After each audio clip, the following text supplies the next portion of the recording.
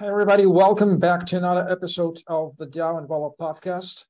I'm your host, Eugene Crypto MC. We explore the Web3 space by talking with Web3 professionals who build the industry with their minds and their hands. And I'm your host, Eugene Crypto MC. And please welcome my today's guest right now from Switzerland is Niclas Genovese. He's product development, or it's, it's Token Gate, and the Token Gate is the tool, what app for tokenizing everything. And the main goal today is to discover, uh, to, to discuss the tokenization as a phenomena. So, Niclas, it's great to have you on. Uh, thanks for joining us. Thank you so much for having me on. Yes.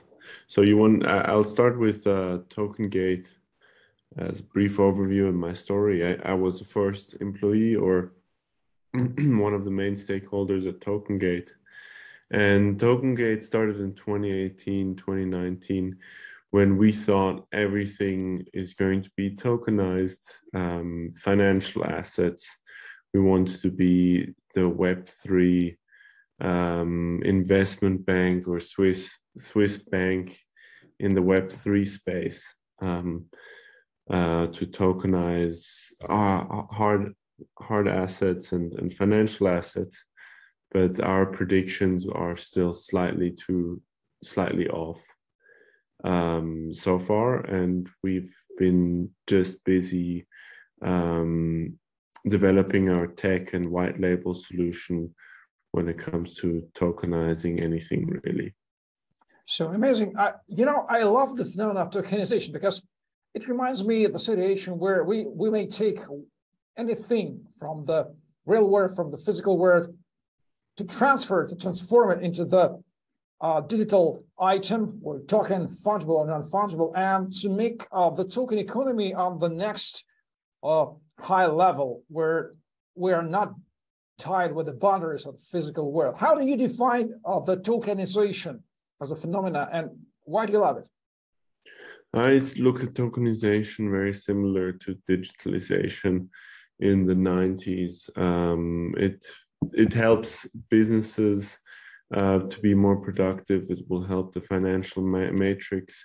If we can come to a perfect DeFi matrix where everything will be in, uh, I don't know, on the same platform and on the same blockchain platform and can be traded one JPEG for a share or one Ether for shares and things like that our life um, as our portfolio management and things like that will have a totally new twist to that um, if everything can be tokenized. But the reality is is our current infrastructure is still pretty good um, when it comes to equities and debt. Um, the really high end blue chip equities, they have no reason to be tokenized, and hence why you will have um, a lot of the mediocre to too bad assets that want to be tokenized because they think it's a value add. So we are in this um, weird situation where you get um, that you we get a lot of requests with like mediocre or bad assets who want to get tokenized and they think that has an impact on their value where really a bad asset will stay a bad asset even if it's on the blockchain well but nobody promised uh, that our path will be so easy we are still in the beginning despite of 30 years of having a bitcoin around us uh, let's dive into token gate or mm-hmm. K2 tokens. Tell us more about what is it, how did you come up with, the, with this idea, how it works in general, all, all the major things about Token Gate. Yeah, so Token Gate, um, so far we've um, been in really experimental.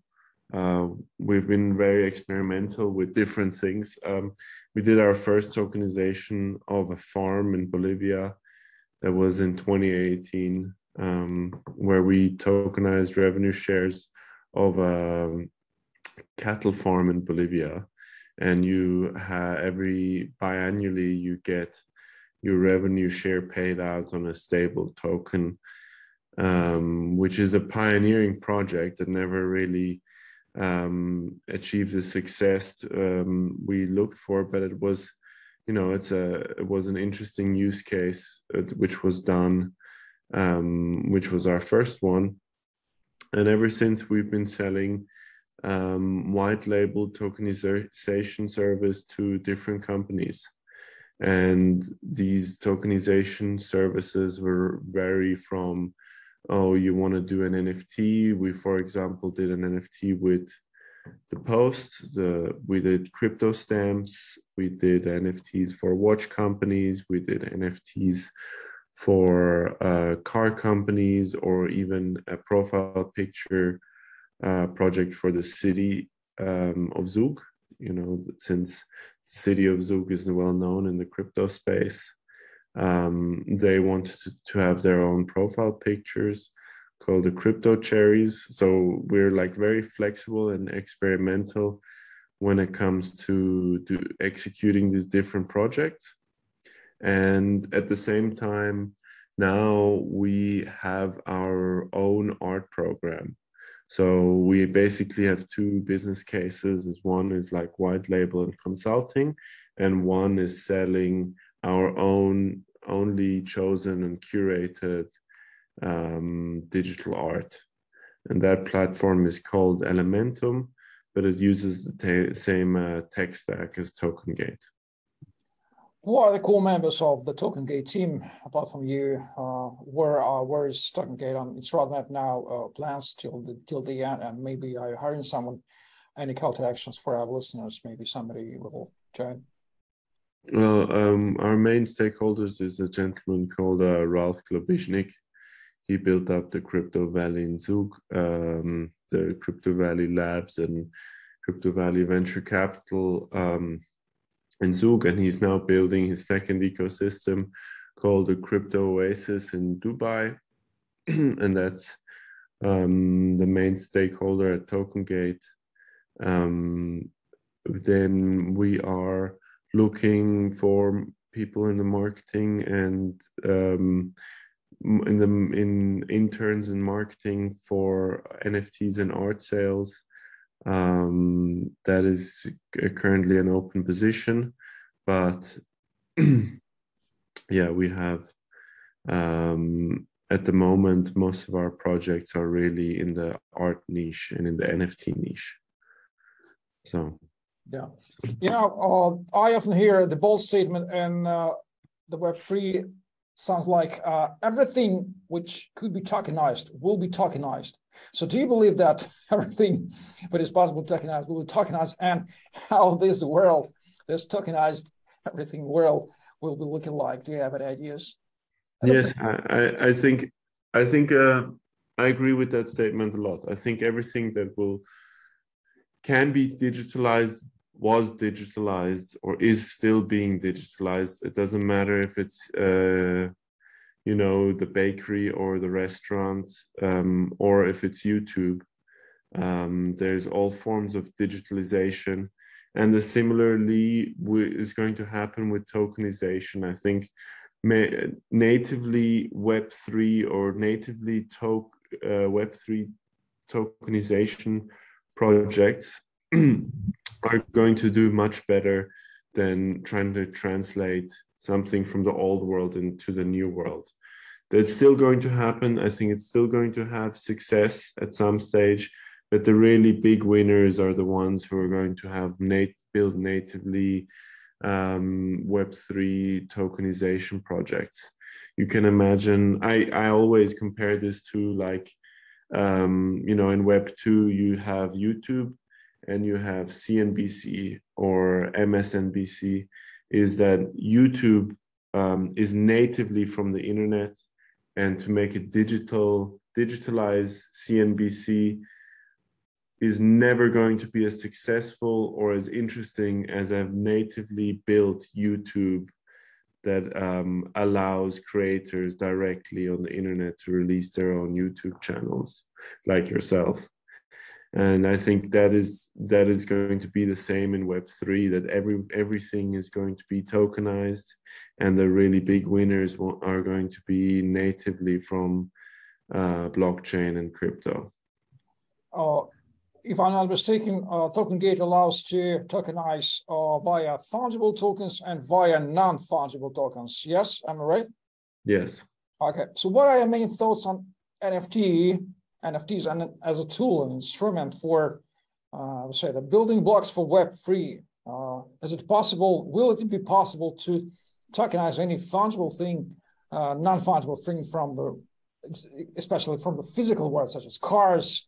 real estate object and so on and so forth. this topic has become so popular. So what are main thoughts on that, on potential of NFT of tokenizing everything non-fungible in the world? Yeah, again, I think, you know, in NFT, we have our own uh, art platform, for example, called Elementum.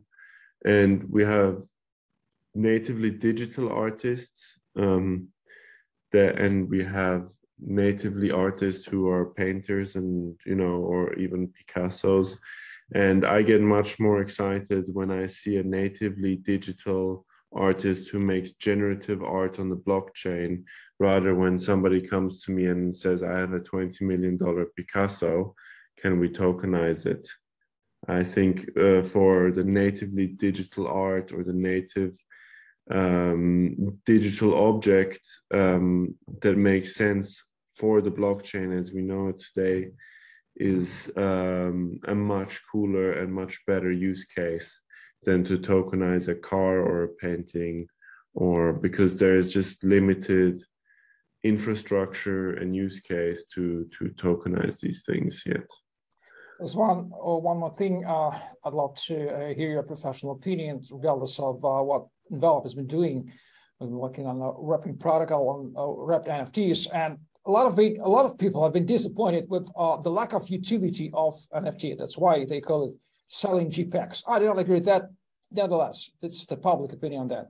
And uh, on the conjunction of fungibility and non-fungibility of tokens, uh, there was born such a thing like a smart NFT or NFT 2.0. It consists of taking a NFT 1.0 or non-smart, stupid, silly NFT, added to it any fungible tokens like uh, PUSD, USDT, or ETH, or some whatever would like for price predictability. Wrap it up with a set of features like a time lock, event lock, royalties, rental mechanic, and so on and so forth. And all this leads to technically the same NFT, smart NFT or NFT 2.0, with a set of new features which are absolutely usable and uh, for dozens of use cases in player and, and even uh, the selling tokens of startups to investors in the form of this replicating. I want to know your opinion. Hearing all of that, what do you think about that? Will it be useful?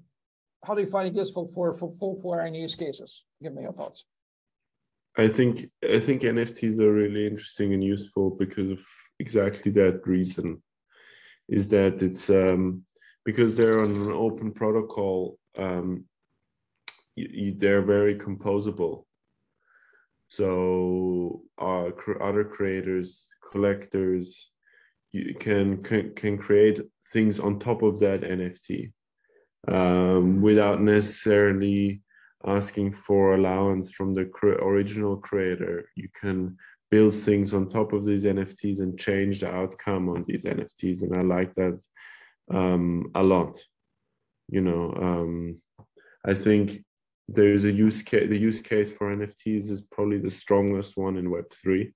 A use case for digital collectibles is the strongest one in Web three because it almost um, reinterprets the social uh, interactions um, the glow on a global stage on social media interactions with digital collectibles changes everything in my opinion.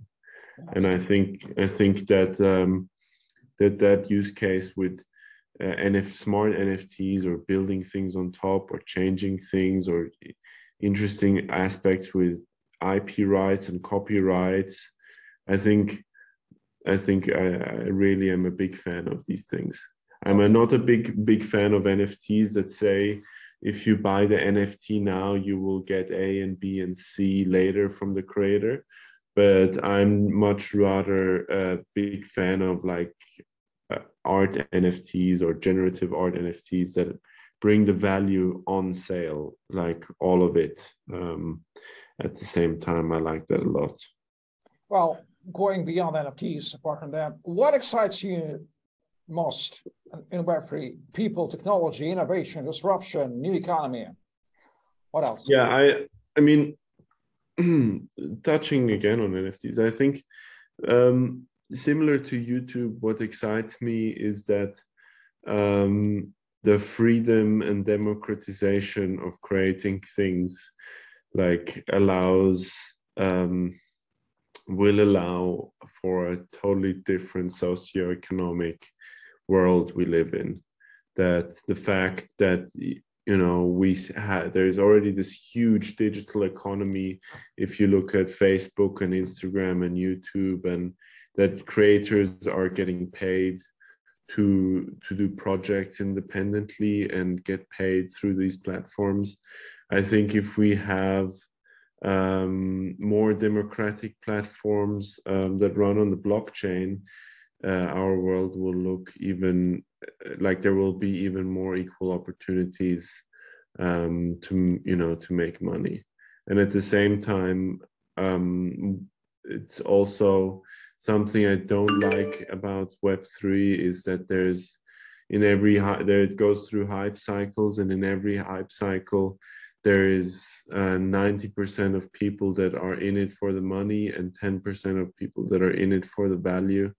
And that um, there's just so much scam and hype and uh, money hungry people in the space. And that's something that i that's also that's a byproduct that comes with that and that's something i don't like.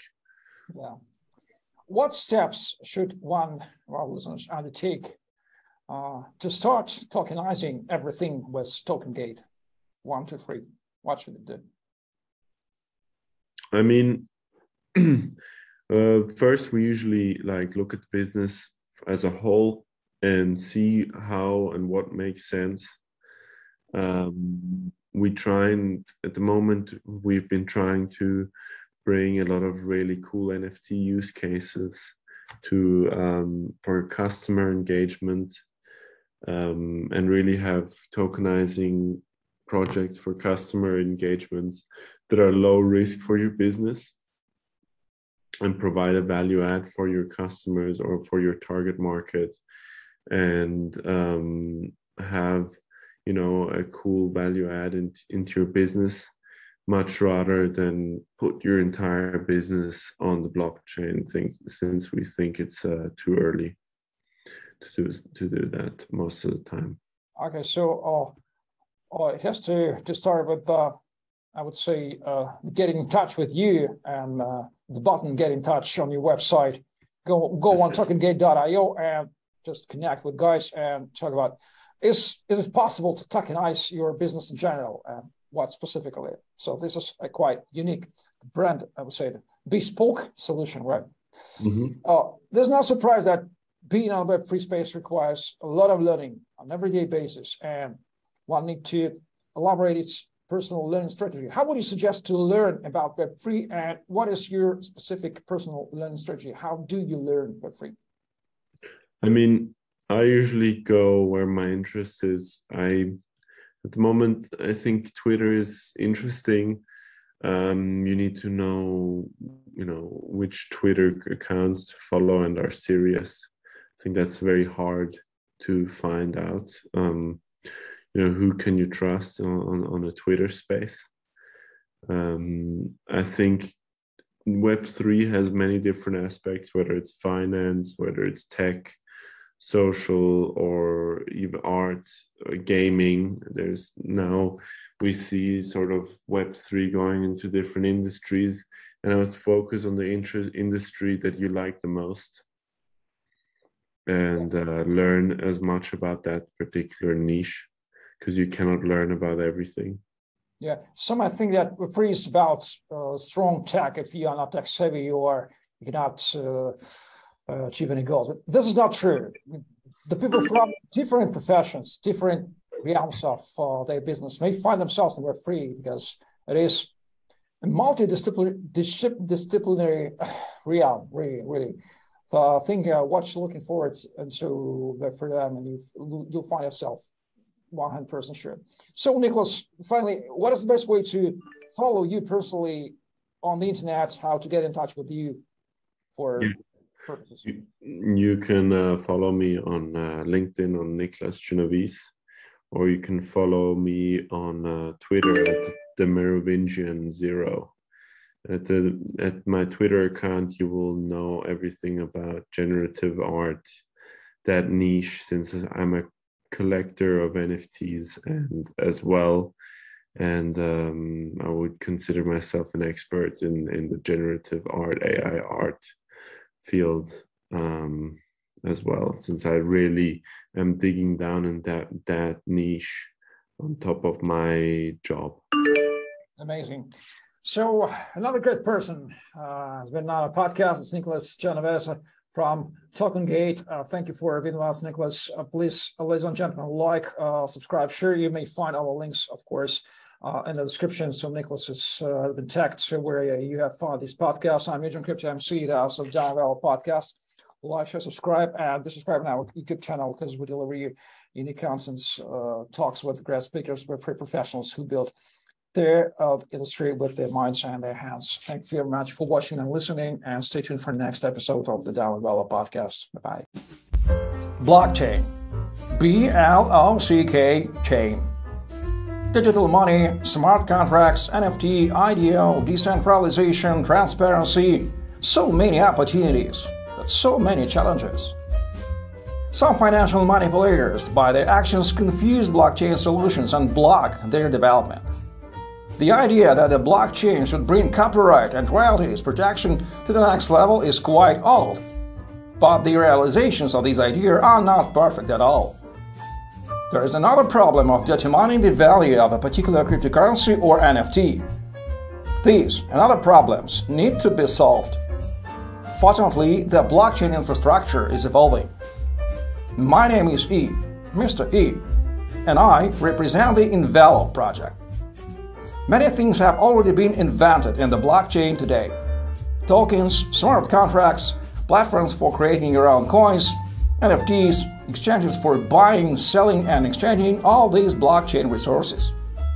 Envelop is another step in the development of crypto technologies. The protocol that works with NFT and cryptocurrencies. The idea is simple but disruptive. Let's assume you have an NFT, Bitcoin and Ethereum. Using the Envelop protocol, you can wrap the original NFT accompanied with several tokens. Technically, you get a similar NFT, but what is the breakthrough here? Once wrapped, the token has a number of additional features that were not available before. The minimal cost appears. It is provided with coins wrapped together with NFT. An asset wrapped with envelop has a number of properties that allow the original author to receive royalties from the resale of that asset. Various rules can be applied to the wrapped token. For example, a lock period for unwrapping. It secures the asset till the determined moment or safeguards it from speculation during the high period. At the same time, wrapped tokens can be transferred and traded. These are just some of the scenarios for using Envelop. NFTs become more popular, and the tools provided by Envelop expand the opportunities of NFTs utilization. Wide application possibilities are achieved due to the fact that, in addition to the protocol, the project includes a number of subsystems. The protocol provides functions wrapping and unwrapping. Oracle Mechanics provides asset valuation using analytical algorithms. Index provides a summary assessment of several NFT assets with the common criteria. The project has its own token, which connects all elements of the system. Altogether, this is Envelop a tool in the blockchain world for building modern and secure systems in various fields. Find more info about the project on the website. Envelop. Make your NFT valuable. Just practical, no hype.